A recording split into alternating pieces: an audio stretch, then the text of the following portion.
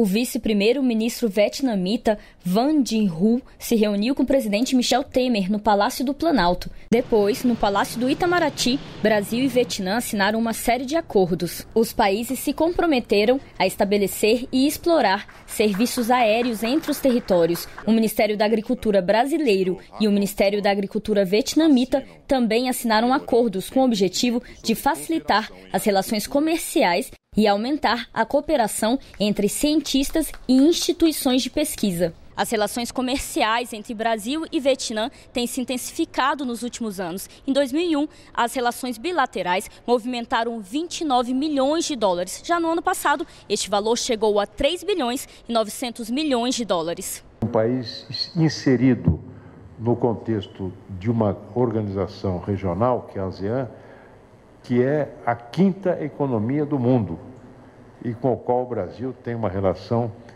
econômico e comercial muito forte. Nós temos o nosso intercâmbio comercial com o Vietnã chega a ser maior que o intercâmbio comercial com países vizinhos aqui nossos. Mas ainda há muita coisa por fazer e essa é a nossa disposição.